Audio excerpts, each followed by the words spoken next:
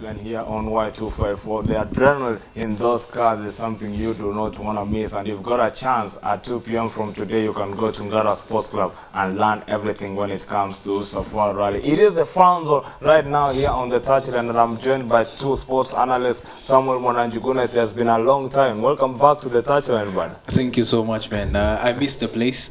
Uh, I missed the team. Yeah. Of course, we are here to analyze the games. Yeah, good one for us. Fred Openda, a big game that is coming our way between Liverpool and Newcastle. But before we discuss everything that has been happening when the games are coming up, it seems that this weekend is mostly about injuries. Almost every team has one player who is not going to be in the field of play. Exactly, one, one, one, one key player that One is, key player, uh, actually, yeah. yeah. we can see uh, the likes of United, uh, Arsenal, Chelsea. We, they have some uh, some suspensions and some injury concerns. Now, uh, it, it, it's all uh, uh, it comes up to the manager to see how he'll juggle around with, with who's available Yeah. uh, for for the afternoon. And then remember, we've just come back from the international break, Yes. so we have a, a, a stretch of games that uh, if you're not going to get your your, your players back uh, fit uh, quickly, then you might uh, you might suffer in, in the next let's say uh, from fatigue in the next uh, five games Yeah. because uh, the, the the international break comes around uh, October. So. Uh, it's it's it's now uh, up to the managers to juggle around with the players they have, but ensure that uh, they, they avoid fatigue. Uh, Let- and and being that now we are coming back for, to the uh, Champions League uh, group stages Uh-huh, yes. and the Europa uh, Yeah. uh, group stages. So it's games that we are going to have a lot of matches coming week in, week out, and players have to be fit. But let's start with Liverpool who are starting their game against Newcastle this afternoon at Anfield. And for them, it is a, a return of Alisson who is actually not ready. But it doesn't look to be a problem for Liverpool so far. I mean, when you have Virgil van Dijk, man, it, it's just it's just kind of meets everything because uh, Gomez is back for them, Yes. and he he but him partnering with Virgil van Dijk is it makes a stronger defense, and of course they also have Matip, whom they have extended his contract, so uh, they're kind of safe. But uh, I think the bigger problem with Liverpool right now is Mo Salah and Mane. Of course, you know what happened last week. the last time they played together, and it's it's something that is uh, quickly becoming a problem for them because if Salah cannot give the ball to Mane, then it means also Mane will be hesitant to give the ball to Salah. Yeah. And this has been the, the forward line that has been most enviable in the world after Neymar, Suarez, and Messi. Yeah. Now, uh, looking at it from that perspective, I think uh, Newcastle United cannot provide much of difficulty for them.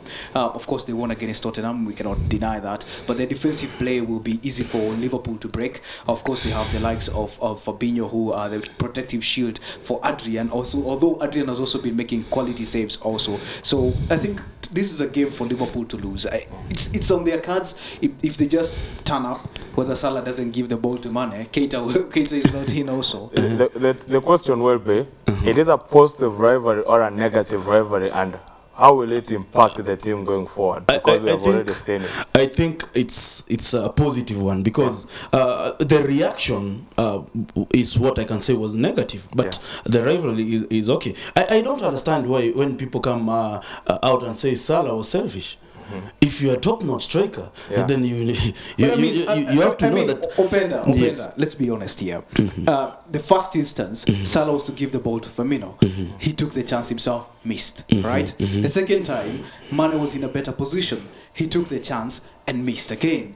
Now, if you're talking about a team, it doesn't matter whether you're leading three goals to nil.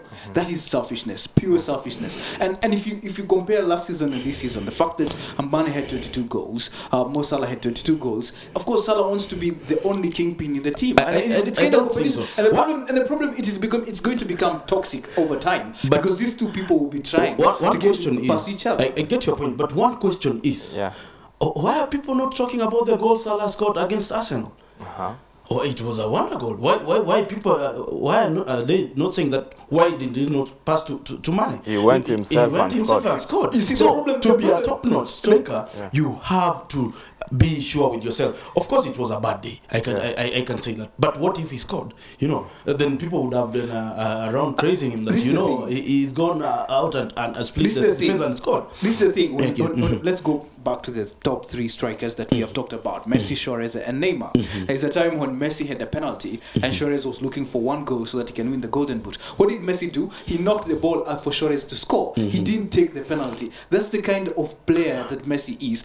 Of course, Salah is being compared with them right now. So if you're talking about Salah being selfish, you're talking about those opportunities that are clear cut. If, if somebody is free and you're tight, you, people getting tight on you because you're the player that everyone wants to mark. Money is free. Just keep the ball. That's that's all you're saying. You know and what- if he takes the chance and scores, okay, we'll celebrate. It's a wonderful goal. when, when you're on the pitch, it's not like us fans watching from the stands. Yeah. You know, that guy is in motion, Yeah. and he sees a chance that I can I can take, and he did it, and I cannot blame him. And next time, trust me, if he'll need to do that, he will do it. Because he's a top-notch uh, striker, and he has uh, he has uh, shown us that he can score from those kind of uh, situations. So I think it's a, a rivalry that we are going to see But the how problem, it pans the problem out. will, be, will be Manchester City mm-hmm. are a team that doesn't have selfishness at the moment. If Aguero sees Bernardo Silva is in a better position, he gives the ball to, to What Bernardo about Silva. Sterling? What about Sterling? Of course, it's a different game. Yeah, but this is the. This is the thing. Liverpool is chasing is chasing Manchester City, right? Yeah. So Exactly. of course, despite them being two points ahead, they know Manchester City is the team to beat. So I think at the moment they, they should try and get every goal, score every goal they can, take every chance they can. And if Salah wasting that chance, I mean, if Mane is in a better position to score that goal, let him score. Because if you have toxic- toxicity within your team, it's going to be a problem for them to challenge Manchester City, and that's the end goal. The end goal is to try and win the league this season for them. So I don't think that will be helping when a, a, Mane a throws big, his hands. a big one for Liverpool there for Jurgen Klopp and how he's going to deal with those two players. But we have got also a game that will be coming over at five. That is Manchester United versus Leicester City, and Manchester United will be without seven key players. That is Paul Pogba, Anton Martial, Luke Shaw, Diogo Dalot, Eric Bailey, Jesse Lingard, and Aaron Wan-Bissaka Big problem. when you look at those names, all of them out on the field, they are not actually even on the bench. They're actually in the clinic. They're actually at the hospital being treated. I think How does this work on for Solskjaer? How, how is he going to name a team that is going to come and go against Leicester, considering that Leicester is actually top on their game at the moment? Of course, uh, what what will be uh, a bigger problem for United will be that defense, and not having uh, Shaw uh, at the left back position and uh, uh, missing uh, the uh, England international Wan-Bissaka, Yeah. the right back, will be a big problem. Especially knowing that uh, uh, we have a very fast player in uh, Vardy who can uh, maybe even try to see, uh, just remain uh, as a, a lone ranger up front so as to get the, the, the, the balls in from his own Yeah. box. We see uh, we, saw him scoring a very very uh, good goal in the last uh, round of fixtures. So uh, for, for, for, for, for, United, it's high time now for the likes of Young to step up and uh, ensure that uh, uh, you are playing at home. You have the, the, the 12th man in, in, in the fans and try to show why you are uh, wearing the United shirt. Uh, uh, if they can't be able to do that, then I, I don't think uh, maybe they, they, they want uh, Ole to stay on the job because if, if, if they If they cannot rise up to the occasion. Exactly, if they cannot Now it is actually now playing for the manager and playing for the club at the same time. Exactly, exactly. Because January is here, and if you are not going to get points at home against the teams like Leicester, Yeah. then trust me, you you you you you are uh, drawing your own downfall, and for the manager also. I think I think Leicester is a team to envy at the moment. Yeah. Um, look at James Maddison in there, Tielemans in there. You've got Jamie Vardy, a man who is very clinical. But having said all that, I think Manchester United have a better record against Leicester. And yes, we know they're missing over eight players. This is a chance for those people who have been saying Paul Pogba has been has been giving the ball away so much, yet that is not really even the case. Uh, but um, of course, this is a chance for the likes of Fred. Um, Marcos Rojo will be slotted back in the left back position Yeah, as Young moves to the right. This is a chance for these players who haven't had enough time to play. But Leicester City will be a team to hurt Manchester United, more so Jamie Vardy. And Maddison can get the ball to Jamie Vardy, putting the ball in the channels. Jamie Vardy is willing to run. Maguire is not the fastest man on earth. Ashley Young is not the fastest Actually, man. actually, the, uh, one of the big problems this afternoon, you will see uh, Maguire having a very, very hard time going up against Vardy because uh, we, we, we you watched the last time out England uh, uh, conceded three goals at home uh, against a team that with not expect even to score a goal. Uh, Yeah. uh, in But, but I think So- I, I think that it's, it's, it's going to be more um, the bigger question between the two centre backs, Lindelof and Maguire, has been about covering and who takes Exactly. charge. Because Maguire wants to take charge, but he doesn't inform Victor Lindelof, and Victor Lindelof loves falling back. So I I think today it's about if Maguire chooses to man Jamie Vardy, let him get close to him, don't give him Exactly, so space, don't let him spin, because the moment he spins, that- you then cannot get him. Then you cannot get him exactly. Well, big match there between Manchester United and Ma- Leicester City. That match will be at 5 p.m. But also, you've got big matches at 5 p.m. Tottenham versus Crystal Palace. You've got Wolverhampton Wanderers versus Chelsea, and then Norwich City versus Manchester City at Carrow Road. But also, this big game between Tottenham and Crystal Palace.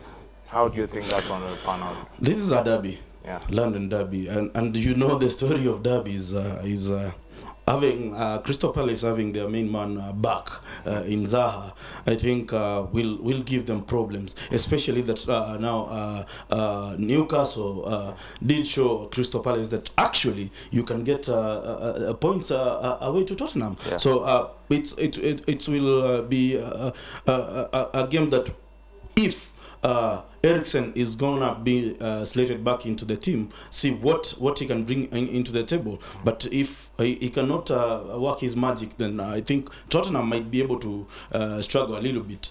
Uh, but Against still, Crystal yeah, yeah, but still maybe go on and uh, get the the three points that they, they require. this is not the start that Mauricio Pochettino expected for his Yeah. team. And and yes, we're talking about a team that finished third to uh, Liverpool and Manchester City, two clubs that were so good last season.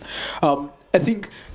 Come in, Ndombele will be back for them this afternoon, Yeah, and that is a very big plus in the midfield. And Eriksen must play today because uh, breaking down Crystal Palace, uh, Crystal Palace won't be easy. Um, you can go back to the game against Manchester United, how Crystal Palace lined up.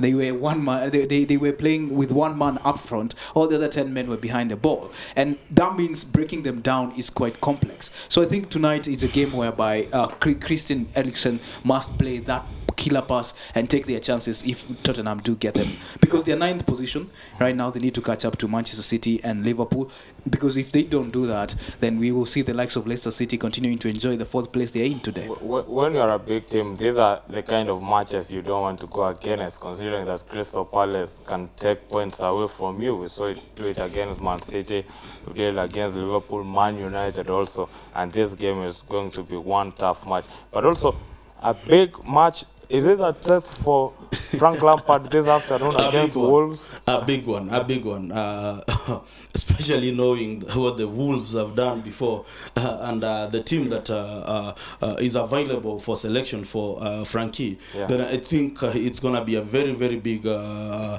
test. If if we can be able to pass it then to uh, th- this afternoon, then I think uh, now the young lads are, are, are ca- ca- catching up with the big boys of the Premier League. But uh, that being said. Uh, Frankie has a very very good uh, good good squad. Although young, uh, maybe we can see that uh, Mason Mount is, is is playing very well at the moment. Abraham is getting the goals that we that, that we are envying, and uh, maybe uh, a few with with, with uh, I think Rudiger should be able to come back. Rudiger will be The- back for them this for, afternoon, for, yeah. for them this afternoon, uh, and that will add a little bit of experience in that uh, defense and. A few other players that uh, uh, will be able will be game changers in that game. So I think if uh, Frankie and the young lads uh, give uh, give their all, then uh, they might be able to pass the test. The- the- the although, doubt- although, although I, I, I, I, I, still, I still doubt it. I would like to hear his prediction on that, though. I think there's no doubt the fact that uh, uh, Frank Lampard has, has had a, Ch- a Chelsea team that is very young, but Tammy Abraham has been impressive. Four goals so far. He's chasing the likes, the likes of uh, Sterling and, and of course uh, Aguero.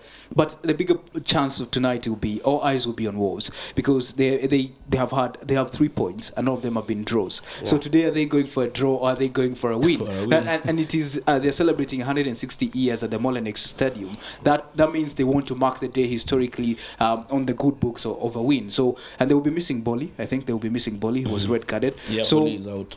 This is a this is a this is a game whereby Chelsea must be uh, on top game. They don't have N'Golo Kante, Yeah, they don't um, but, N'Golo, but they will be, the Kovacic you should be coming back for them. But yeah, I, I think this is a game Wolves will be chasing. I think if I was to go for a prediction, two one in favor of Wolves. Um, but and, just- I, and I think also uh, uh, Emerson limped off uh, Yeah. uh, in the game uh, for uh, uh, uh, yeah the last international game. Yeah. Uh, he limped off for Italy, but maybe he might be able to come uh, but Alonso, back they, for, they have for, an option for of the team, Alonso, yeah. which is a good uh, is a good Uh, option. Also a good replacement. So Uh, but the biggest ch- problem with Chelsea has been there they've been letting in many goals because they have scored six goals and they have conceded nine, the So, high, the second uh, highest in the league. So um, that that has been their biggest problem with uh, I with think it's Rudiger coming back. It- Antonio the Rudiger is coming that- back. yeah, The, the question I'll ask is, what is Antonio Rudiger going to add into that defense that might be a change this afternoon? Actually, the, it's just the experience because these young lads, and especially that now that they're missing Kante in that midfield,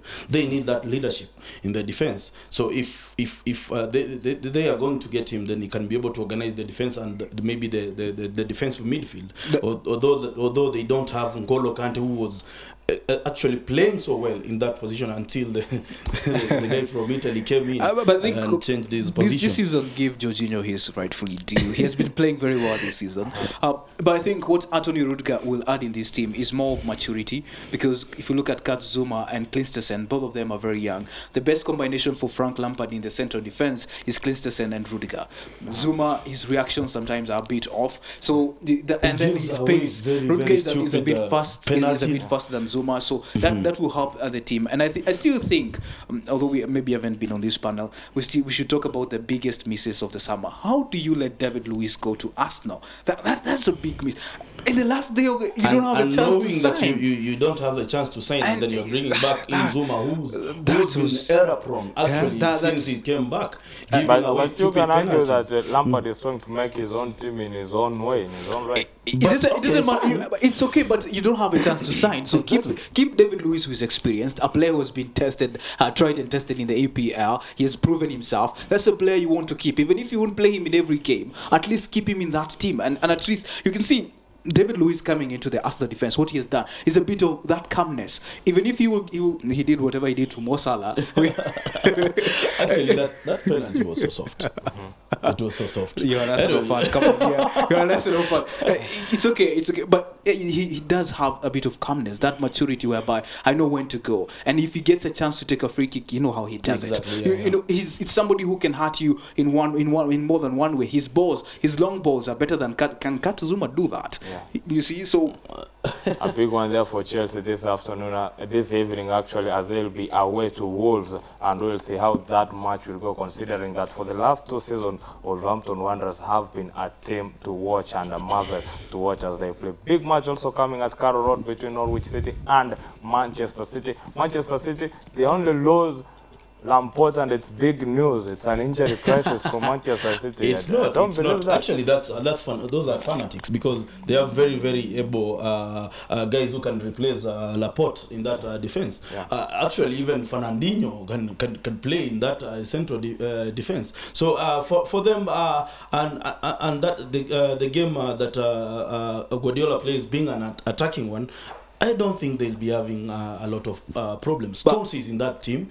Uh, the, the, uh, the biggest impact with with Laporte is that he can carry the ball forward. He's the defender in the EPL last season. He was the the central defender who carried the ball highest. He he has accurate passes and he's very calm at the defense and he's very fast uh, also. So I think that that is a big miss. John Stones can play the ball but not as good as Laporte. So he can fill in the gap for a while. Again, they are playing Norwich City and they will dismantle them, of course. Uh, of course, uh, but but there have, there is that man, one man called Pukki, who's uh, who's I, I think is one of the most uh, uh, lethal strikers currently in uh, in European football.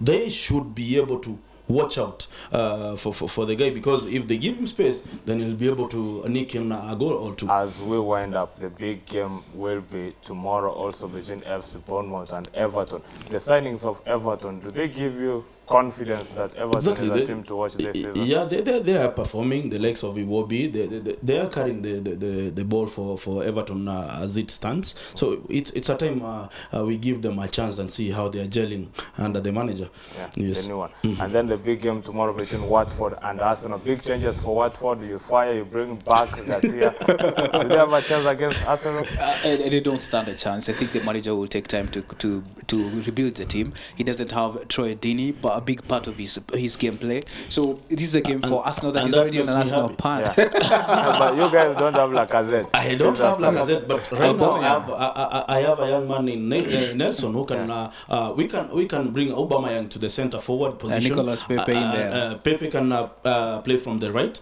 and then we have Reiss Nelson who can uh, come in from the left. And then if we have a Ceballos there uh, to, to supply those balls, and uh, Torreira and Xhaka, uh, maybe Xhaka, Xhaka should be taking off sometime uh, Yeah. in the coming weeks. But we have Agenduzi who has also shown that uh, he can he can perform in that midfield. So so. Uh, what has been a miss for us for a very very long time that the manager is trying to solve right now is the defensive game of Arsenal. We got to uh, we got uh, a good uh, a left back in Tierney who is now come uh, come back into full training, and Bellerin is also back from injury back in, in into full training. So if we we get those uh, guys fully fit in the next two three weeks, then I think we, we should be able to How see do a, think a that different match game. will go? Arsenal, uh, what for Arsenal? Yeah. I see I want to win for Arsenal. Um, I'm going to give Arsenal 3 1. Yeah. Uh, that one goal is for uh, that Kutoa Machozi. You know, yeah, yeah, yeah. Thanks a lot, Samuel Mwananjuguna and Fred Openda, for coming here for the touchline. That has been the end of the fun zone here on the touchline. As we promised you, we'll be speaking to the president of the Kenya Rugby Union to tell us some of the good news that they have had in the rugby circle so far. For now, that's the end of the fun zone. We're taking a short commercial break. When we come back, it is our big interview here on the touchline.